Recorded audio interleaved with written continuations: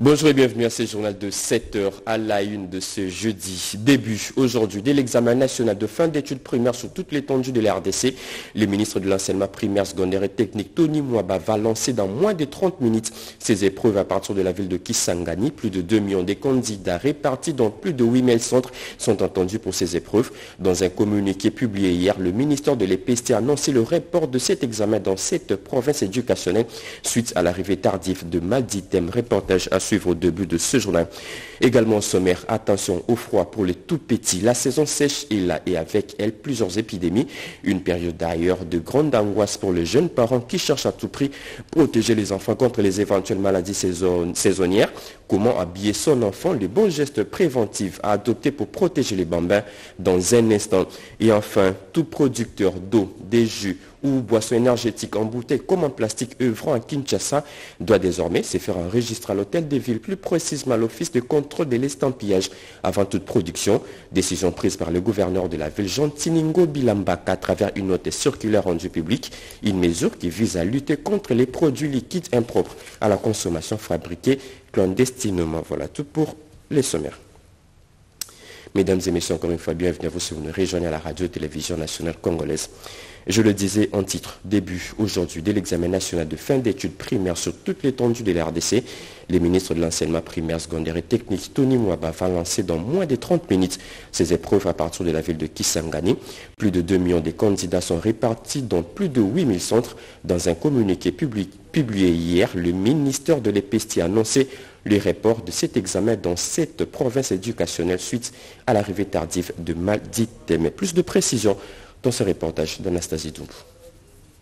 Près de 2 millions d'élèves de 6e primaire vont passer l'examen national de fin d'études primaires sur toute l'étendue du territoire national pour l'obtention certificative du 1er au 2 juin 2023 à l'exception des provinces éducationnelles telles que Sankourou 1 et 2, Chouapa 1 et 2, Otuele 1 et 2 et Bazuele 1 et 2 dont l'examen est reporté à la date du 12 au 13 juin, faute de l'arrivée tardive des malditem aux différents points de Chita. L'annonce a été faite par le ministre de l'enseignement primaire, secondaire et technique, Tony Mwabakazadi, en séjour à Kisangani dans la province de la Chopo pour le lancement de cette preuve dans cette partie du pays, en présence de la secrétaire générale et de l'inspecteur général à l'EPST. Et puis cette nouvelle prolongation du mandat de force de l'EAC de six mois et évaluation à mi-parcours du mandat de cette force, ce sont là les décisions prises au terme d'un sommet de chefs d'État tenu à Bujumbura au Burundi. Le chef de l'État congolais Félix Antoine Tshisekedi Chilombo a pris part à ces sommets. Le détail dans nos prochaines éditions. La balle est désormais entre les mains de la commission permanente politique, administrative et juridique PAG de l'Assemblée nationale. Cette commission dispose de 48 heures pour amender le projet de loi sur la répartition de sièges. Ce projet de loi défendu hier par le vice-premier ministre en charge de l'Intérieur, Peter Kazadi, a été déclaré récevable par les députés au cours d'une plénière. Au total, 16 sièges ont été réservés au territoire en proie de l'insécurité. La plénière boycottée par le député de l'opposition, comme nous dit Robert Ndaïchi Les députés nationaux ont poursuivi ce mercredi 31 mai 2023 le débat général sur le projet de loi portant répartition des sièges par circonscription électorale pour les élections législatives, provinciales, municipales, urbaines et locales. Sous la présidence de l'honorable président de l'Assemblée nationale, Christophe Mbosso Kodia, le débat a tourné autour du déséquilibre de sièges dans certaines circonscriptions électorales. En présence du vice-premier ministre, ministre de l'Intérieur, certains élus du peuple ont relevé certaines incohérences en demandant que les erreurs soient corrigées avant l'adoption de cette loi importante pour les prochaines élections en République démocratique du Congo. La plupart des députés réclament de sièges perdus ou qui sont en inadéquation avec le nombre d'électeurs enrôlés au cours des opérations d'identification. On a invoqué euh, les principes de la solidarité. Euh, il y a 16 euh, sièges au total qui sont réservés à des zones en proie à des violences. Tout cela pour que les populations de ces coins, aujourd'hui en conflit, puissent être représentées même si il n'y a pas eu d'enrôlement dans ces coins. Et le gouvernement formule les vœux qu'avant la tenue des élections, il y aura la paix dans ces coins de la République pour que notre peuple puisse prendre part au vote. Après les réponses convaincantes du vice-premier ministre, ministre de l'Intérieur et Sécurité, la plénière a décidé d'envoyer ce projet de loi à la commission avant son adoption en plénière. Les députés de l'opposition ont boycotté la plénière de ce mercredi 31 mai 2023. Bientôt, un nouveau tour de vis pour lutter contre la fraude douanière au niveau des frontières. Des nouvelles mesures restrictives sont attendues dans les prochains jours. Décision prise au terme d'une réunion des conjonctures économiques présidée par le Premier ministre Jean-Michel Samalou Kondé. La réunion a aussi examiné l'évolution des prix de biens et services sur le marché. D'autres précisions dans ce reportage des Patitondongo, Julien Piana et bienvenue au Salam. Bientôt des mesures drastiques seront prises pour lutter contre la fraude douanière au niveau des frontières. C'est l'une des décisions prises à la réunion des conjonctures économiques qu'a présidé le Premier ministre et chef du gouvernement Jean-Michel Samaloukonde Kienge ce mercredi 31 mai 2023. Nous avons noté cependant la fraude qui est organisée à tous les niveaux de nos frontières. Et les mesures seront prises quant à cela. Nous avons aussi relevé les questions relatives au climat des affaires, c'est-à-dire des tracasseries dont sont l'objet et les banques et les opérateurs économiques, mais dans la recherche de la solution et des mesures qui seront annoncées, nous voulons des mesures justes, qui ne fassent pas que l'État condamne l'État et donne raison aux opérateurs économiques et vice-versa. Nous voulons la justice de ce côté-là et protéger euh, les opérateurs économiques. Le comité des conjonctures économiques a par ailleurs constaté la stabilité des prix des biens et services et du taux d'échange. Les prix sur le marché sont plus ou moins stables, tout comme le taux d'échange lui-même, mais nous remarquons aussi que les réserves d'échange sont plus ou moins contenues euh, de façon positive. La question de l'importation de maïs était encore d'actualité lors de cette rencontre à martelé le vice-premier ministre, ministre de l'économie Vital Kamere. Il y a une série de propositions qui sont faites euh, au niveau du Conseil des ministres. C'est ici l'occasion de remercier le gouvernement zambien. Finalement, nous avons signé un communiqué conjoint sur la matérialisation de l'exportation, ce qui les concerne, et de l'importation, ce qui nous concerne, de cette denrée euh, qui est de grande consommation au Grand Katanga et au Kasaï. Donc chaque ministre recevra certainement des assignations de la part du Premier ministre pour remettre de l'ordre sur la voie Kasumbalesa et Lubumbashi pour que cette farine arrive au marché de Lubumbashi au prix euh, acceptable. Plusieurs questions liées à la bonne marche du pays ont été abordées lors de cette réunion des conjonctures économiques qui a mis autour du Premier ministre Jean-Michel Samalo Konde Kienge, les ministres sectoriels. Les entreprises publiques ont l'obligation de transmettre les états financiers à temps, réel à la Cour des comptes. Le premier président de cette Cour est formel et tape du poing sur la table.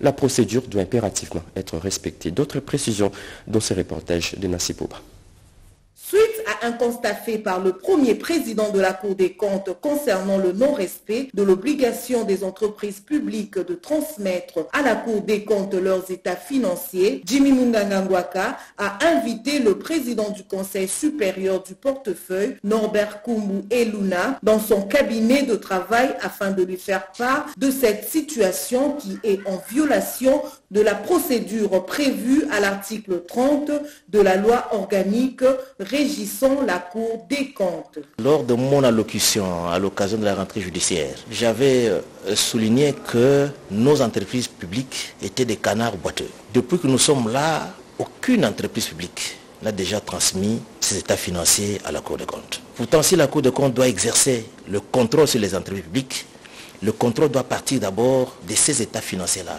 Parce que ce sont ces états financiers-là qui donnent la photographie, n'est-ce pas, de la gestion des entreprises publiques. Après avoir reçu un exemplaire du journal officiel contenant la loi organique de la Cour des comptes des mains du premier président, le président du Conseil supérieur du portefeuille s'est exprimé. Nous avons reçu ces documents euh, très précieux qui nous permettent de mieux asseoir notre connaissance de cette grande institution qu'est la Cour des comptes, son rôle, ses mécanismes, son organisation et surtout de l'intérêt pour nous de pouvoir collaborer avec euh, votre organisme. Vous pouvez compter sur nous. Le président du Conseil supérieur du portefeuille, organe technique en matière de contrôle et d'assistance des entreprises de l'État, s'est donné le devoir de sensibiliser les animateurs des dites entreprises au respect de l'obligation de transmission de leurs états financiers à la Cour des comptes. Le décompte vient d'être enclenché. Plus que 56 jours pour réussir le déroulement de 9e jeu de la francophonie à Kinshasa.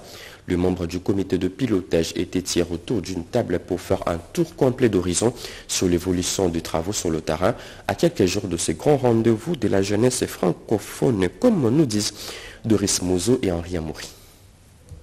À 56 jours de 9e jeu de la francophonie à Kinshasa, le vice-premier ministre ministre des Affaires étrangères et francophonie, Christophe Lutundula Palapena Pala, a tenu à faire le point sur les préparatifs de ce rendez-vous de la jeunesse francophone. À peine arrivé de la Chine, le président du comité de pilotage a mis autour de la table le ministre des Infrastructures, des Sports, les représentants du commissaire provincial de la police nationale congolaise, la direction générale de migration, entre autres pour évaluer le travail réalisé dans chaque secteur. Les Jeux accueilleront dans la ville des milliers de personnes. Le tourisme et l'infrastructure qui vont avec doivent s'apprêter. Un tour d'horizon complet qui permet au vice-premier ministre, ministre des Affaires étrangères et francophonie, président du comité de pilotage de faire un rapport circonstancié au gouvernement de la République et au président de la République, chef de l'État, Félix Antoine Tshisekedi Chilombo. Ouverture aujourd'hui de la réunion mixte du comité de défense et de sécurité entre la République démocratique du Congo et la République du Congo. À 24 heures de la tenue de cette rencontre, donc hier, le vice-premier ministre, ministre de l'Intérieur et Sécurité a discuté avec l'ambassadeur de Brazzaville accrédité en RDC, Peter Kazadi, a rassuré de sa présence à ses assises. C'est un reportage d'Alain Bikaï et Ibrahim Chakou localité d'Ingabé située à 184 km de Brazzaville qui abritera ce jeudi 1er juin la réunion du comité de défense et sécurité entre la RDC et le pays de Denis Sassou Nguesso. Au cours de cette réunion mixte, la République démocratique du Congo et les Congo-Brazzaville vont évoquer les questions bilatérales entre ces deux nations sœurs, notamment celles liées à la sécurité le long des frontières communes et le retour des compatriotes de Kwamoutou réfugiés dans ce pays. Le vice-premier ministre, ministre de l'Intérieur et Sécurité, Maître Peter Kazadi Kankonde, a rassuré l'ambassadeur du Congo-Brazzaville en poste à Kinshasa de sa participation à cette rencontre. Au sortir de l'audience, l'ambassadeur Cyprien Sylvestre Mamina a fait les points. Nous sommes des peuples frères, nous partageons une langue frontière. Il y a beaucoup de questions à examiner. Chaque fois pour faire le point des questions de sécurité entre les deux pays, mais aussi des problèmes parfois frontaliers. Donc c'est à cela que les deux délégations du Congo Brazzaville et du Congo Kinshasa vont s'atteler dans les prochains jours. La question des réfugiés est complexe parce qu'elle implique aussi la pacification de la situation en Kwamoutou pour que chacun reparte dans son pays. Je crois que c'est l'ensemble de ces questions-là qui seront examinées par les autorités. Il s'y est dénoté que les relations bilatérales entre ces deux nations sont au beau fixe. Je le dis en titre, attention au froid pour le tout petit. La saison sèche est là et avec elle plusieurs euh, épidémies. Une période d'ailleurs de grande angoisse pour le jeune parent qui cherche à tout prix protéger les enfants contre les éventuelles maladies saisonnières. Comment habiller son enfant? Les bons gestes préventifs à adopter pour protéger les bambins. Dans ce reportage de Béatrice Chaco. La saison pluvieuse arrive à son terme et la saison sèche commence. Ces changements de saison et non sans conséquences sur la santé, surtout des nourrissons, mais les adultes aussi ne sont pas épargnés. La grippe, le rhume et autres toux sont signalés ça et là, mais il y a des règles et des conduites à observer pour y échapper. Je me fais porter la combinaison et j'attends jusqu'à ce que le soleil se lève, je les suis et puis je les fais porter encore la combinaison, les même les, les, petits enfants à la maison, pour toujours les protéger avec les tripots. Avec la maman, moi je l'ai ingéré, je n'ai pas donné des chiffres aux enfants, parce que ça peut, ça peut entraîner du rhume aux enfants. Donc l'été chaud, et. Quelques étudiants et élèves se sont exprimés pour conscientiser leurs camarades à se protéger aussi pendant la saison sèche. Il y a des gens qui sortent le matin sans prendre le tricot. Ce ne sont pas des bonnes précautions. En fait, avant de sortir, il faut au moins avoir son tricot. Comme moi, j'ai un, pull, ça sert très bien. Et pour la saison sèche, il y a des gens qui tombent malades. C'est vaut mieux d'avoir un tricot pour être protégé contre le maladie. En cette période de la saison sèche, nous devons protéger nos enfants pour leur éviter d'attraper des différentes maladies saisonnières. Le port des tricots et des chapeaux pour les nourrissons est vivement recommandé. J'exhorte toutes les jeunes filles d'éviter le port des cinglés en cette période pour notre protection. Aide-toi et le ciel t'aidera, dit-on. Une promesse de plus du chef de l'État qui vient de prendre corps. La ville des Zongo vient d'être dotée d'un grand bac neuf pour traverser la rivière Ubangi. Cette infrastructure d'une capacité de plus de 50 tonnes fabriquée à Kinshasa est déjà arrivée à Zongo. Une délégation de l'office de route a visité cet, ouvrage de précision avec Blaise Bokokia, notre envoyé spécial. Chose promise, chose due, la promesse du président de la République, Félix-Antoine Tshisekedi Chilombo, de doter la ville de Zongo d'un grand bac pour la traversée de la rivière Ubongi est aujourd'hui concrétisée. Cet imposant bâtiment flottant est déjà arrivé à Zongo, tout alors tout est neuf. Le trafic de ce bac va certainement booster les affaires dans cette contrée. Un vrai boom dans la réalisation des recettes et des services publics comme la DGDA, l'OCC, la DGM, l'hygiène des frontières et autres. C'est un motif de satisfaction et de fierté pour l'Office des routes d'avoir concrétisé la volonté politique de Félix Antoine Tshisekedi Chilombo. C'est une grande une promesse réalisée par le chef de l'État. Je suis très content parce que le bac est déjà à Zongo bientôt ça va servir de traverser. Le chef a raison d'utiliser parfois l'intelligence congolaise, voilà. Et ça, c'est produit, c'est fait par nos ingénieurs. Ça, c'est Made in Congo. La construction d'un quai en béton armé est actuellement assurée par l'Office des routes. Elle permettra, sans nul doute, à ce bac d'accoster sans difficulté. La consistance des travaux exécutés est ici évoquée par le directeur provincial de l'Office des routes, Chidou Bongui. Euh, nous avons euh, liquéfié d'abord euh, la, berge de, la rivière Ubangui et on a enroché avec 50 cm d'épaisseur et on a exécuté une, une, dalle, donc un béton d'une épaisseur de 30 cm. Bénéficier d'un bac est une chose, mais sa protection en est une autre, d'où la nécessité de garder jalousement cette embarcation dans cette partie de la province de Sud-Ubongi. L'RDC aura bientôt des données fiables en démographie et en santé. Plus de 600 enquêteurs seront déployés sur le terrain sur toute l'étendue du territoire national pour recueillir auprès de ménages des informations sûres et certaines. Le travaux de la troisième enquête qui seront présidés par l'Institut national de statistique viennent d'être lancés par la ministre d'État en charge du plan dix ans après la deuxième enquête. Plus de précisions dans ce reportage de François Boula-Boiti et Pompombe. Il a fallu attendre plus de dix ans pour que la RDC ait des données fiables sur le ménage dans tous les territoires nationaux. Plus de 600 enquêteurs feront du porte-à-porte auprès de 26 520 ménages dans le tout prochain jour pour collecter et recueillir toutes les informations liées à la mortalité, la santé sexuelle, la prévention et traitement du paludisme, le ZST ainsi que le sida. Judith Souminois a appelé ses enquêteurs à un travail laborieux car cet exercice permettra au pays de disposer des données actualisées liées au ménage. La décision de réaliser cette enquête vise à répondre aux besoins d'outiller notre pays de données utiles et à jour. Je tiens à rappeler que les dernières enquêtes d'envergure nationale datent de six ans.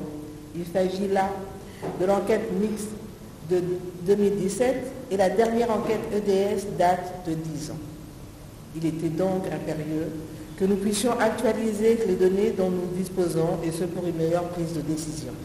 L'Institut national de la statistique, qui va superviser ces enquêtes, a promis un travail de qualité, à rassurer sa directrice générale intérimaire, Cette enquête va bénéficier de l'appui technique et financier de plusieurs partenaires. Peu après, dans un autre décor, la patronne du plan a participé en vision-conférence à la réunion virtuelle du comité de pilotage du partenariat mondial pour une coopération efficace au service du développement entre l'Agence de développement de l'Union africaine, Nouveau partenariat pour le développement de l'Afrique, AUDEA, NEPAD et ses partenaires internationaux, notamment la Suède et l'Indonésie. Dans son discours, la ministre d'État en charge du plan a soulevé les problèmes majeurs pour faciliter la poursuite du déploiement des suivis, après avoir martelé sur les portages politiques au niveau régional de partenariats efficaces sur lequel la RDC et l'AUDA NEPAD sont appelés à travailler en synergie. Où en sommes-nous avec les différents accords de partenariat signés entre la RDC et l'Allemagne dans le secteur énergétique? Eh bien, une délégation des parlementaires allemands en séjour en RDC s'est rendue aux installations du, site INGA 1. Question d'évaluer les travaux réalisés sur place avant de financer d'autres projets. C'est un reportage d'Edith Chala et Patrick Achala.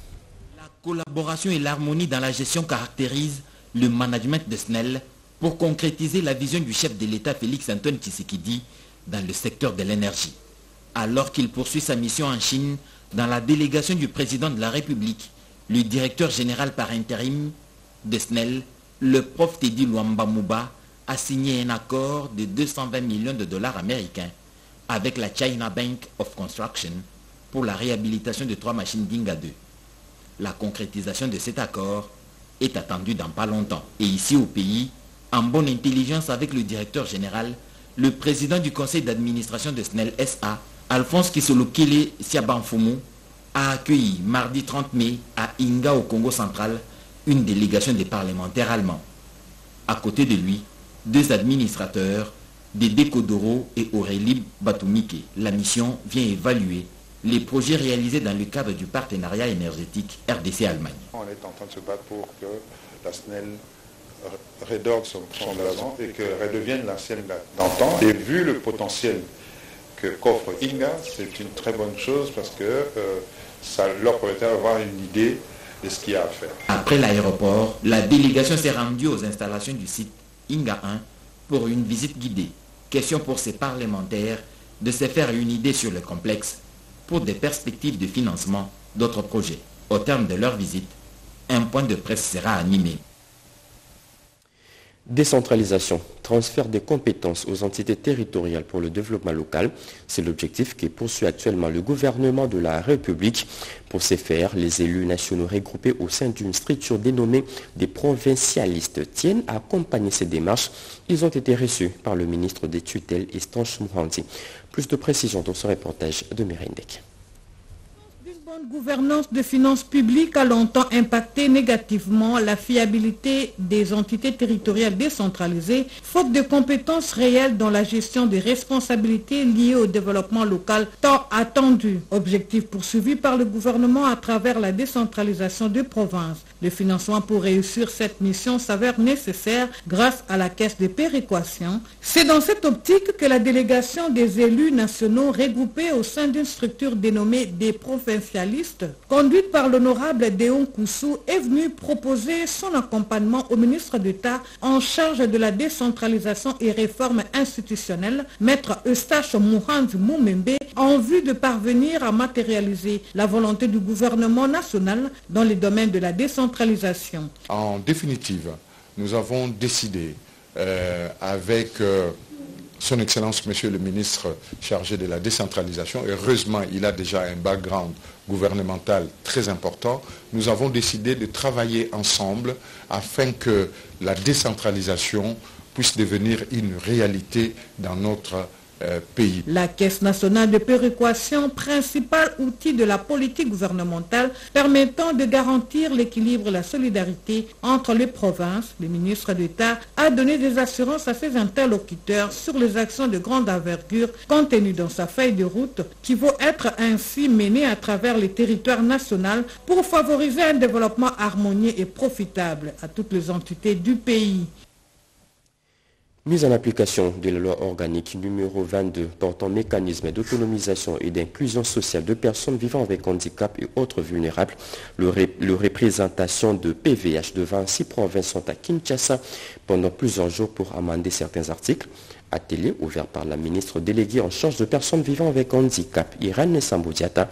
C'est un reportage de Betty Amanikunda rendu par Diane Balakambombo.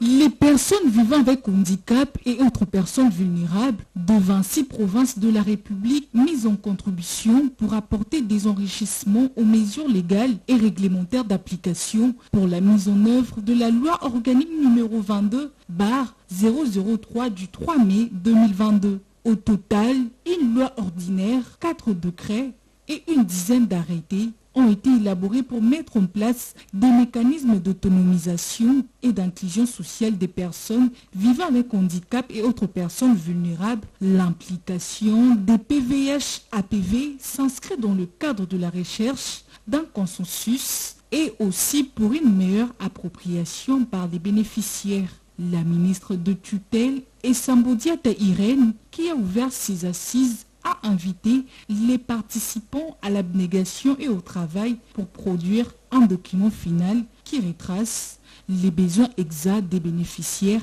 cités en présence de la vice-ministre honoraire de l'EPST.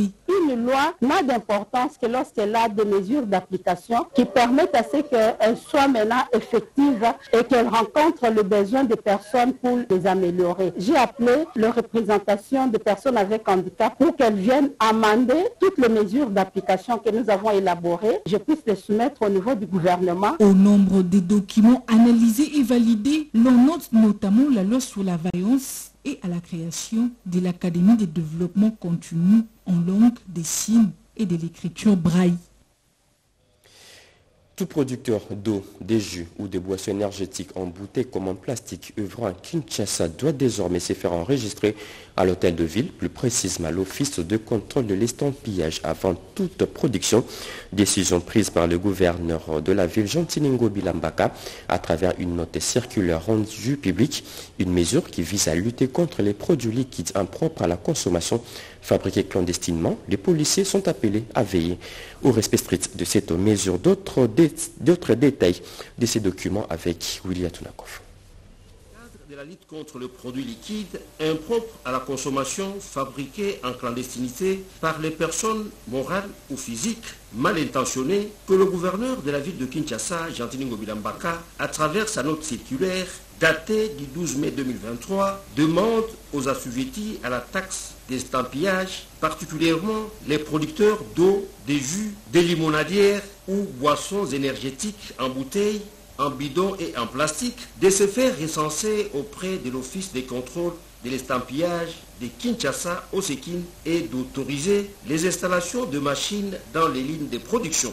Et c'est en raison d'enregistrement dans le système de collecte et installation de machines en vue de la perception de la taxe d'estampillage conformément à l'ordonnance loi numéro 18 004 du 13 mars 2018 fixant la nomenclature des impôts, droits, taxes et redevances de la province et de l'entité territoriale décentralisée ainsi que des modalités de leur répartition. Cela en rapport avec les arrêtés interministériels numéro 003 bar mine bar et numéro 007 bar cab bar mine bar fin ECO 2021 modifiant et complétant l'arrêté du ministre provincial des Finances fixant les taux des droits et taxes à percevoir à l'initiative du ministre provincial des Finances, Économie, Commerce, Industrie et PME. Fin de calvaire pour les habitants du quartier Kingabois dans la commune de Limité pour se procurer en eau potable. Ces quartiers et ses environs viennent d'être dotés d'un fourrage d'eau, un don de la fondation Godard Motemona. Le vice-ministre de Mines a lui-même inauguré ces fourrages qui disposent d'une citerne de plus de 5000 litres et six bornes fontaines. D'autres détails dans ce reportage. Lutte contre la pénurie d'eau à Kinshasa, la fondation Godard Motemona vient de doter un forage d'eau construit sur fonds propres à la population du quartier Mamanzenze à Kingabwa, dans la commune de Limete. Ce forage va permettre à la population de ce quartier et ses environs de s'approvisionner en eau potable. Le vice-ministre de Mines, Godard Motemona, président de la fondation qui porte son nom, a procédé le samedi 20 mai 2023 à l'inauguration de ce forage à la satisfaction de tous les habitants de ce coin de la capitale. Les problèmes de pénurie d'eau est un problème qui frappe plusieurs quartiers et communes de ville de Kinshasa. L'excellence Godard Motemona nous a épargné de cette situation.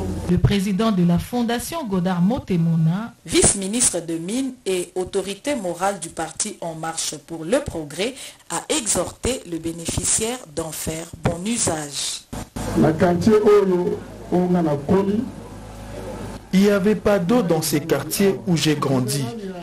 Un, des généraux du pôle, Maman a sollicité mon soutien par les canaux de Fogomon pour donner de l'eau aux habitants du quartier en construisant un forage. Ce forage dispose d'une citerne d'une capacité de plus de 5000 litres et a 6 bornes fontaines.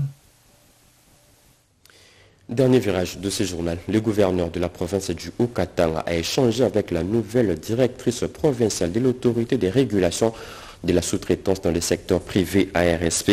Bijou Katz est allé solliciter l'accompagnement de Jacques Kaboula pour la réussite de la mission assignée à cette structure dans cette province. Regardez. Nommé il y a peu à la tête de l'autorité de la sous-traitance dans le secteur privé ARSP en sigle, dans les Hauts-Katanga, Bijou Mouchitoukat a été reçu ce mercredi 31 mai 2023 par le gouverneur de province Jacques Kaboula Katoué. Au cœur de leurs échanges, la nouvelle équipe dirigeante de l'ARSP dans les Hauts-Katanga est allée solliciter l'accompagnement du chef de l'exécutif provincial pour la réussite de la mission assignée à cet établissement public en province par le chef de l'État Félix Antoine Tshisekedi Chulombo, notamment celle de vulgariser la loi sur la sous-traitance dans les secteurs privés, l'émergence de la classe moyenne congolaise et la promotion des entreprises à capitaux majoritairement congolais, ainsi que la protection de la main-d'œuvre nationale. Il a plu à notre directeur général, l'honorable Miguel Kachal Katem, de nous porter à la respect de la province du Katanga. La mission est de promouvoir la jeunesse et les jeunes entrepreneurs, parce que le chef de l'État lui-même, son souci est de créer les millionnaires congolais les meilleurs Congolais en général et plus particulièrement ceux de la province du Katanga. Et nous devons émerger dans le même sens pour que cette population accepte et soutienne la vision du chef de l'État comme notre DG le fait déjà. En tant qu'élève de la vision du chef de l'État, nous pouvons que nous se mettre pour faire la promotion de la jeunesse congolaise. Le gouverneur de province, Jacques Journal, un journal que nous dédions spécialement à notre confrère Giresto Funge Ochumbe qui soufflait sur une bougie de plus. Mesdames et messieurs, cette édition a été réalisée par Mamita Bango, le discover Pongo. La partie technique a été assurée par Gedeon Kola, Mariam Oseya, Emile Zola et Alain Galia. Merci de nous avoir suivis. L'actualité continue sur nos antennes. Retrouvez à 13h. Aimé Daya, moi, je reviens demain à la même heure. Très bonne suite des programmes sur nos antennes. Au revoir.